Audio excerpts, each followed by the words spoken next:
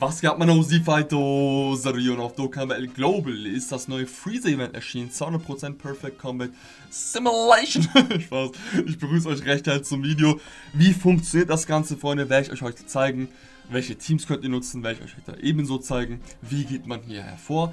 Ganz am Anfang, das ist ein Event, in dem ihr quasi innerhalb, also damit ihr alle Missionen hier, wenn ihr alle Missionen nicht schaffen wollt, müsst ihr eine Stage aus diesem Event in unter zwei Minuten schaffen, okay? Das Ding bei der Sache ist, man kämpft gegen einen Goku Blue. Je, na, also, je nachdem, auf welche Stage ihr geht, hat er einen anderen Typus. Zum Beispiel Stage 5 ist er vom Physisch-Typus, Stage 4 Strength, Int, Tech, AGL. Und ihr müsst diesen, also das ist der Goku Blue hier, Goku Blue hier, sorry, ihr wollt diesen Goku Blue in unter zwei Runden besiegen, damit ihr alle Missionen bekommt, okay? Und zwar gibt es hier zu holen bis zu 5 Stones und ein bisschen mehr, sag ich mal, ja. Die Sache ist an der Stelle noch folgendermaßen. Dieser Goku ist übertrieben tanky. er ist sehr tanky, das heißt, kommt ganz drauf an, welche Charaktere ihr habt, um, damit ihr das eventuell schafft oder nicht. Andere Sache ist noch, es gibt verschiedene Runden, okay? Aktuell ist Runde 1 online. Vom 11. bzw hier an der Stelle 11. Januar, an der Stelle 37 bis zum 15. Januar, okay? Ab dem 15. Januar 37 kommt Runde 2, ab dem ähm, 19. Januar 37 Runde 3, ab dem 23. Januar äh, kommt Runde 4 ab 37 morgens unsere Zeit und Runde 5 beginnt am 27. Januar ab 37 morgens. Was sind diese Runden? Diese Runden sind quasi die Kategorien, die sehr effektiven Schaden gegen machen oder mehr Schaden. Runde 1 ist die heutige Kategorie, sag ich mal, Universe Survival sagen, okay? Runde 2 wird also Resurrect Warrior sein, Runde 3 Wicked Bloodline, Runde 4 Transformation Moves, Runde 5 Otherworld Warriors. Das heißt, ihr wollt in den jeweiligen Runden die Charaktere aus dieser Kategorie nutzen, damit ihr da halt mehr Schaden gegen den Boy macht, okay? Ich werde euch gleich eine Vorhergehensweise zeigen vom, von der aktuellen Runde, nämlich das Ganze aufnehmen, nämlich Universe Survival Saga. Für die nächsten Runden müsst ihr dann diese Vorhergehensweise anwenden auf eure Charakterliste, auf die Kategorien, die folgen werden, okay? So viel gibt es tatsächlich zu dem Event zu sagen. Man kann ein Support-Item mitnehmen. Sage ich euch gleich, welches Support-Item ich da mitgenommen habe. Diese Charaktere könnt ihr nicht mitnehmen. Jetzt außerhalb von dem Boy Devilman sind das die Nuke-Leader, okay? Die Leader, die quasi pro Orb so und so viel äh, Prozent auf den Angriff geben.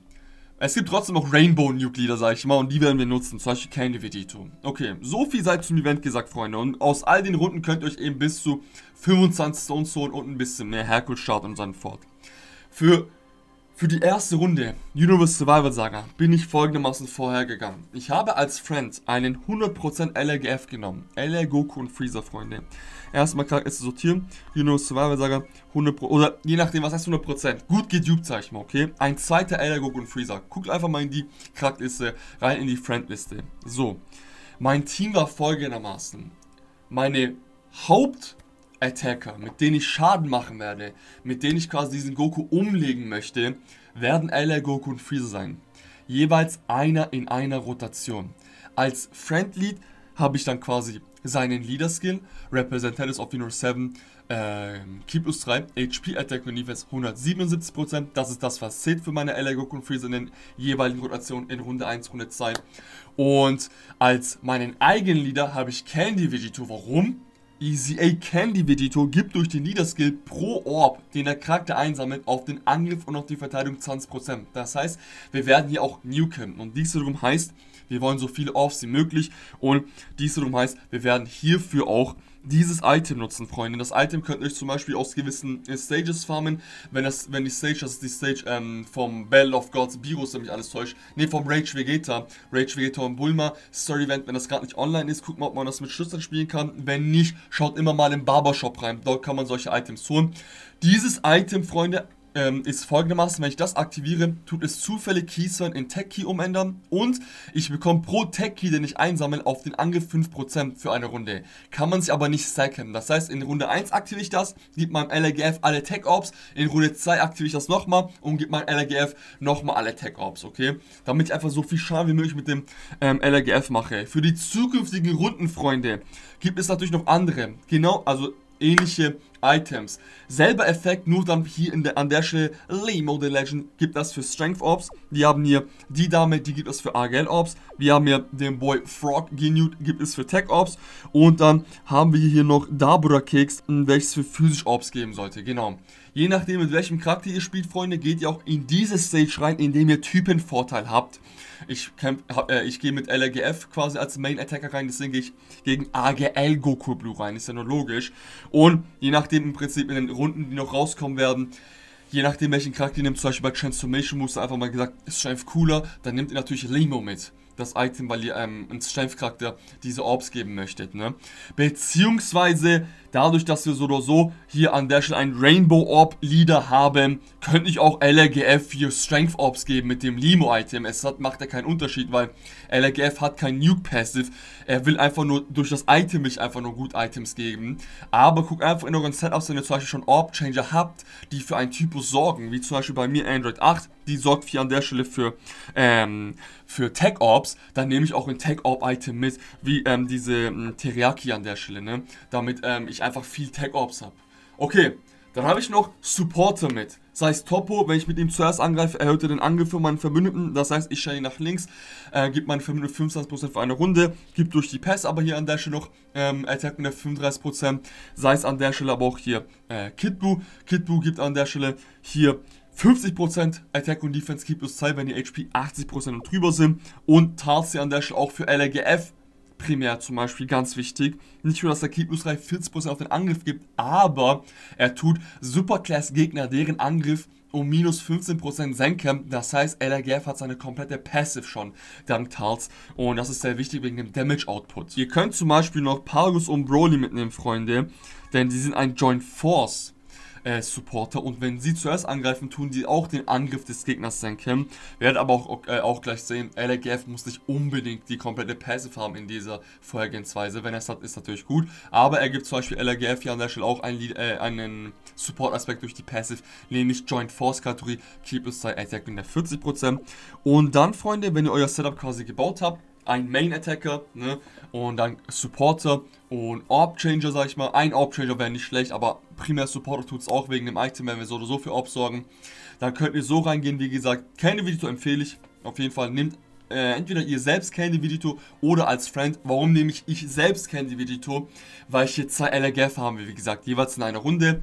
Und dann würde ich sagen, zeige ich euch mal mein Szenario. Alles klar, Freunde, das Szenario habe ich vorab, äh, vorab schon aufgenommen, damit ich das einfach in Ruhe mache und ich zeige, euch zeige, wie das geht. Wie gesagt, ihr müsst diese Vorhergehensweise für die Runden, die noch erscheinen werden, die Tage anwenden. Hier habe ich schon alles erzählt von dem Szenario, wie das Ganze verlaufen wird. Äh, ich gehe an der Stelle mal rein und guckt am Anfang auch, wenn die Rotationen passen, dann geht rein damit eure Items nicht verschwendet. Was meine ich damit? Wenn hier zum Beispiel ein LRGF nicht in der Rotation wäre, würde ich gar nicht reingehen. Die optimalste, äh, optimalste Rotation wäre gewesen, wenn Candy Vidito aus der Rotation ist, also in dem Slot, wo gerade Kitbu ist, und Kitbu in einer Rotation. Zum Beispiel, wenn hier noch Kitbu wäre, wäre das ideal gewesen oder besser, weil Kitbu noch Attack mit der 50% gibt. Aber ich habe hier 40% Support durch Tarts, Angriff von Goku ist gesenkt dank Tarts, ich habe hier die komplette Pässe von LR Goku und Freezer, ich habe hier einige Orbs sie geben. Dadurch, dass ich für Tech-Ops sorge, ist auch wichtig, Freunde, dass ihr Tech-Ops einsammelt. Hier schaue ich nach, okay, was ging nochmal mit Android 18? Sie ändert physisch in Tech, deswegen behalte ich diese physisch Ops, die da, ähm, die da ähm, auf dem Feld sind, damit sie die quasi nächste Runde ändert. Der nächste Runde habe ich nochmal einen, äh, noch einen LRGF, okay, und zwar mit Topo in der Rotation und auch mit C18 in der Rotation. Ähm, das ist der Friend LRGF, der hat drei Dupes. Je mehr Dupes, desto besser. Ja, ich kann euch gerne mal nachher noch eine Sache zeigen. Okay, die Sache ist die hier.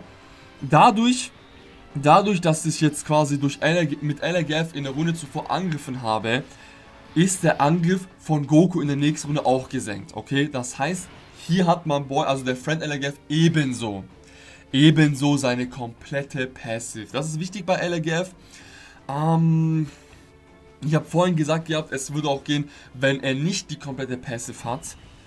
Würde es schon gehen, aber eventuell nicht in, nicht in, in unter zwei Runden. für die Mission, damit ihr alle Missionen schafft, wollt ihr in unter zwei Runden das Ganze schaffen. Wenn ihr das nicht in unter zwei Runden schafft, dann geht das Event aber noch weiter. Da wollt ihr es in unter so und so viel Runden schaffen für die Missionen. Da müsst ihr einfach mal reingucken. Aber wenn ihr alles abschauen wollt, in unter zwei Runden. So, wieso habe ich hier neu gestartet? Weil ich nicht so viele Tech-Ops hatte. Bevor ihr euren An bevor die Charaktere eure, äh, den Angriff starten, Freunde, könnt ihr das Ganze nochmal neu starten. Ich kann jetzt zum Beispiel jetzt andere Key einsammeln, wie ich es zuvor eingesammelt habe, und dann das Item erst aktivieren oder die Charaktere die Slots ändern und dann das Item aktivieren. Dann ändern sich andere Orbs in dem Fall oder dann werden die Routen anders, sag ich mal. In dem Fall habe ich jetzt 17 Tech Orbs, auf jeden Fall sehr, sehr gut. Wegen dem Item bekomme ich pro Tech Orb 5% drauf. Von Candy Vidito bekomme ich pro Orb Attack 120% und sein eigentliches Scatter schon flat 177%. Und guck mal, das wird jetzt 99,99 Crit raushauen. Das heißt, hätte ich dieses Szenario in der ersten Runde hätte ich das schon in der ersten Runde geschafft, Leute. Ah, das stimmt nicht ganz, denn dieser Goku hat gut HP. In der ersten Runde habe ich 90 Millionen Crit rausgehauen und ungefähr die Hälfte abgezogen. So funktioniert das Ganze mit dem Event. Ähm, ich zeige euch noch gleich die Mission und noch, äh, noch gleich eine Sache wegen Skill-Ups, was man dem Charakter geben kann, damit ihr mehr Schaden macht. Wenn ihr Typenvorteil habt zum Beispiel, zählt sowohl für das Event als auch für die Hercule Punch Stages, sag ich mal, oder an, an sich für Events, wo ihr mit Typenvorteil ähm, einfach viel Schaden machen wollt und ihn, den Gegner nuken wollt. Und genau, da habe ich ja auch an der Stelle die ganzen Items abgesandt, wie gesagt, weil ich das Ganze in unter zwei Runden, in zwei Runden und runter geschafft habe.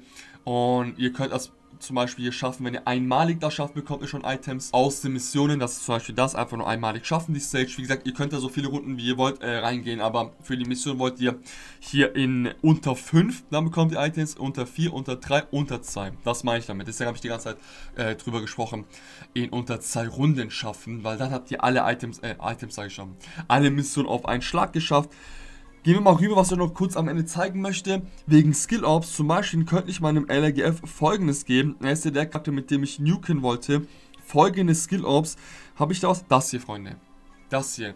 Skill Op Tech Type Attack Boost Level 1. Je mehr Level, desto besser. Aber mir geht es um diesen Type Attack Boost. Wenn ihr das ausrüstet, macht ihr mit eurem Charakter mehr Schaden, wenn ihr Typenvorteil habt. Ja? Könnt ihr auf Bronze geben, könnt ihr auf Silber geben, wenn ihr es habt. Ich habe es leider nicht. Könnt ihr zum Beispiel auch auf Gold geben. Ja? Das ist auch ein Item zum Beispiel für die Hercule Punch Events gut. Wenn ihr da einfach nuken wollt mit Typenvorteil. Freunde, so viel zum heutigen Video. Ich hoffe, Ganze hat euch gefallen. Wenn ja, gerne ein Like lassen, falls ihr neu da seid und das Ganze unterstützen mögt, auch gerne ein Abo lassen. Ich wünsche auf jeden Fall einen schönen Tag und dann sehen wir uns auf jeden Fall nach so vielen auf jeden Fall das nächste Mal wieder. Macht's gut, Freunde. Peace. When I pull up at your girl, mommy wanna be my world. You a man, bro? don't you cry. I'ma get her back after I'm done, I'm done. Next time you ain't won't be around.